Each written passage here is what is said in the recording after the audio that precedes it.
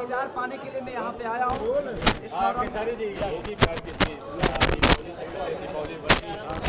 और क्या कहना चाहेंगे? कितनी खुशी हो रही है? को लेकर मैं बहुत एक्साइटेड हूँ क्योंकि बिहार में अपना ये जलवा बिखेर चुकी है।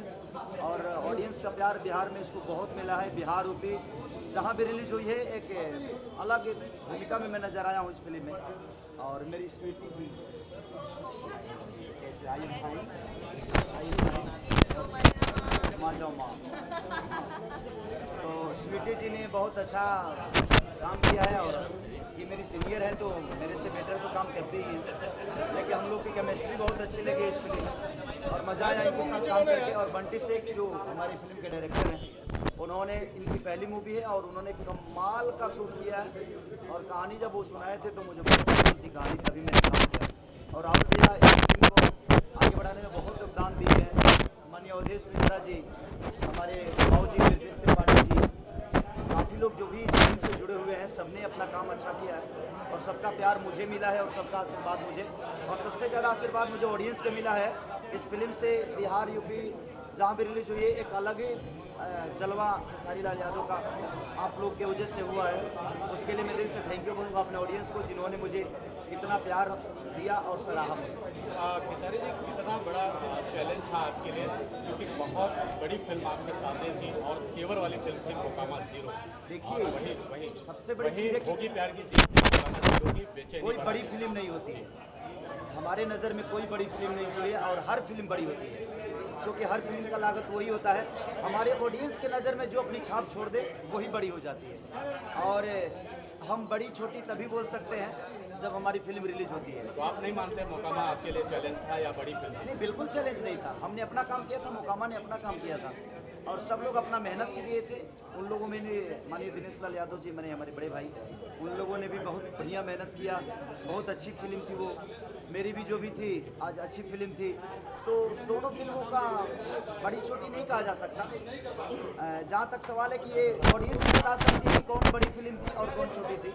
हम अपने मुँह से नहीं बोल सकते। क्योंकि ऑडियंस के जो पसंद है वही बड़ी फ़िल्म होती है। अच्छा ऐसी क्या बात खास बात है कि, खेसारी में जो कि मतलब दर्शक पसंद करते हैं ये ये तो दर्शक ही बताएँगे कि खिलाड़ी को क्या चीज़ें पसंद आती है और कहाँ मैं उनको बस में करता हूँ ये तो मेरी ऑडियंस ही बता सकती है। मैं अपना काम करता हूँ और मुझे प्यार करती है पब्लिक भोजपुरी इंडस्ट्री के अखाड़े का नंबर वन मैं अपने आप को मानते हैं दिनेश और आपकी बात किया जाए तो कौन है नंबर वन? देखिए नंबर वन और नंबर दिया, और पटकनी दे दी है। नंबर थ्री जो भी ये नंबर है मैं नंबर को गिनती में रख के काम नहीं करता कि मैं नंबर वन हूँ कि नंबर टू हूँ कि नंबर थ्री हूँ मैं नंबर में हूँ ही नहीं समस्या यहाँ है कि मैं अपने काम को करता हूँ नंबर जो भी देना है मेरी पब्लिक मुझे देती है और मुझे पब्लिक से नंबर चाहिए, अपने आप से नंबर नहीं चाहिए। और मेरी पब्लिक मुझे प्यार ऐसे ही करते रहे। मैं हमेशा दुआ करूँगा ईश्वर से कि हमारी ऑडियंस ऐसी बनी रहे और ऑडियंस खुश रहे और मेरा नंबर मेरे ऑडियंस के पास है। मैं अपने आप में कोई किसी नंबर में नहीं हूँ और मुझे किसी नंबर में रहने में भी मज़ा नहीं आता। मैं अपना काम अच्छा करूँ, मैं यही दुआ करता हूँ ईश्वर से कि मेरी एनर्जी ऐसे ही बरकरार एक्शन की बात करें और आपके लवंडा डांस है और कैसे कैसे मैनेज किया आपने? कैसे कर लेते दोनों चीज़ें देखिए हम एक कलाकार हैं और हर आकार में अगर हम हैं तो ही कलाकार हैं। और हर आकार से हम निपटते हुए अपने ऑडियंस को मज़ा दे दें वही हमारे लिए सबसे बड़ी कला है हमारी। तो हम जिस रोल में आए अपने आप को प्रूफ करें और मैं कोशिश करता हूँ कि मैं जो भी काम करूँ अपने आप को प्रूफ करूँ और ऑडियंस का दिल जीतूं। खेसारी लाल जी आपने देशभक्ति की बहुत सारी पिक्चरें की हैं और आज इस समय देश में एक उफान है बॉर्डर और पाकिस्तान को। तो मैं चाहूँगा कि आप अपने सुर में हमारे देश के जो लोग आपके ऑडियंस हैं उनको एक गाना गा कर संदेश दें क्या मैं एक देवी गीत गाया हूँ अभी देवी देश के लिए। कि महनी करी तिरंगा बन के तुहर शहर में फहर जाई। कुरियर से भेज दह जहर रानी खा के मर जाई। चलते चलते एक आखिरी सवाल ये गाना जो इस फ़िल्म होटलाली से रोटी खा के वो बहुत दर्शक पसंद कर रहे हैं? और खास करके आपके अदाओं को आप पसंद कर रहे हैं छोटी को भी नहीं पसंद कर रहे उसमें? क्या कहना चाहेंगे? अक्सर जब देखिए जब हमारे अपोजिट स्वीटी जी आती हैं तो इनको भी जो यंग लड़के हैं वो पसंद करते हैं मुझे दुश्मन समझते हैं। ये क्यों सट रहा है? मैं क्यों नहीं सट रहा हूँ? तो अक्सर जब मैं लेडीज़ बनता हूँ तो दर्शक इनसे कटते होंगे कि ये क्यों सट रही है? मैं क्यों नहीं सट रहा हूँ? तो हर आदमी का होता है।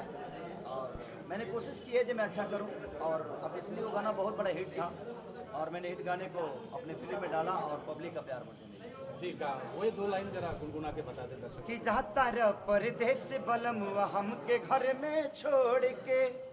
ततनी जाए से पहले खाला। ओठे लाली से रोटी बोर। मेरे पास लिपस्टिक नहीं है। इसलिए प्लीज़ आप लोग लिपस्टिक इधर समझ लीजिए बाकी वर्ड मेरे पे आ जाएगा स्वीटी जी क्या कहना चाहिए केसारी जी के साथ काम करके सच में बहुत मज़ा आया। ये बहुत ही जॉली नेचर के हैं। पूरी मैंने बताया मुझे लग रहा था कि हम बारात में आए हुए हैं पूरी फ़िल्म हमने हँसते खेलते बल्कि कैसे शूट कर ली पता ही नहीं ये गाना शूट हुआ था तो सही में गजब के लग रहे थे कि मुझे भी कॉम्प्लेक्स हो गया। खराब हो गया मैं एक टाइम भूल गई थी कि ये सही में लड़की है कि लड़का लोग मुझे बोलते हैं चिपको मत बहुत ऊपर से लड़की है मगर इनको जो देते हैं। अंदर से कुछ और। सिस्टम नहीं है। एक्चुअली जब हम लोग काम किए इस गाने में तो मैं जब एक कॉस्ट्यूम पहना तो मैं भूल चुका था जब मैं एक लड़का हूँ। और मैं भूल, भूला तभी अच्छा गाना होगा और श्रुति जी कमाल का परफॉर्म अपने तरफ़ से, जो मर्द की एक परफॉर्म होती है, वो टफ होता है। हमारे लिए लेडीज़ का परफॉर्म टफ होता है। इनके लिए मर्द का परफॉर्म टफ हुआ। लेकिन इन्होंने इतनी बखूबी से निभाया कि शायद पब्लिक को मज़ा आया। और अच्छे से गाना हुआ हम लोग इनका इंजॉय करके किए कि समझ में। और तो चांस मार रहा तो चांस मार रहे थे सही में। सही बात मैं भी चांस मारी थी मेरा दिल आ गया था। मार लेती मैं सोच रहा था कि कब मारेंगे चांस तो आखिरी सवाल चलते चलते। खेसारी लाल जब भी बॉक्स ऑफ़िस पर कोई धमाल करते हैं तो कुछ ऐसे लोग बैठे हुए हैं जिनके पेट में दर्द है। वो एक रोग है। उसके लिए दवा है हमारा काम। हमारा अपना काम है, अगर हम लोगों के दर्द की चिंता करके अगर काम करेंगे तो शायद हम अपने आप को ऊपर नहीं तो किसको क्या होता है, उससे हमको फ़र्क नहीं पड़ता है। और मैं अपने काम पे ज़्यादा, मैं शुरू से आया हूँ। एक भैंस चराने वाला आदमी, इतना बड़ा मुकाम मिल गया पब्लिक के द्वारा। ऑडियंस ने इतना बड़ा मुकाम दे दिया, मुझे इतना प्यार किया। तो मुझे अपने काम से ज़्यादा प्यार होता है। किसी के दर्द में, अपने ऑडियंस की दर्द की चिंता करता हूँ। बाकी मेरे विरोधी जो दर्द में रहते हैं उनकी मैं चिंता नहीं करता क्योंकि मैं दर्द देने के लिए आया हूँ। और हर आदमी कहीं ना कहीं आपके परफॉर्म से खुश है कि नहीं लेकिन हमारी ऑडियंस खुश है। तो हमें अब इसलिए हमें प्यार मिलता है तो हम खुश रहते हैं जो हमारी ऑडियंस को पेट में दर्द नहीं होना चाहिए। बाकी किसी को होने से मुझे क्या फ़र्क पड़ता आखिरी सवाल चलते चलते होगी प्यार की जीत को दर्शकों ने बम्पर ओपनिंग दी है। बम्पर अपना आशीर्वाद दिया है। क्या कहना चाहिए मैं इन दर्शकों को दिल से थैंक यू और धन्यवाद देना चाहता हूँ कि आज ये हैं तो मैं हूँ और आज इनके आशीर्वाद से खेसारी का घर का चूल्हा जलता है। इनके पैसे से आज मेरे शरीर पे जो कपड़ा भी है तो आज इनके पैसे से मैं पहना हूँ। तो मैं इनका कर्जदार हूँ और आजीवन में इनका कर्जा नहीं चुका पाऊँगा। मैं कोशिश करूँगा कि जो भी फ़िल्म लेकर आऊँ, आप सबके बीच में शायद आप सबका प्यार मिले।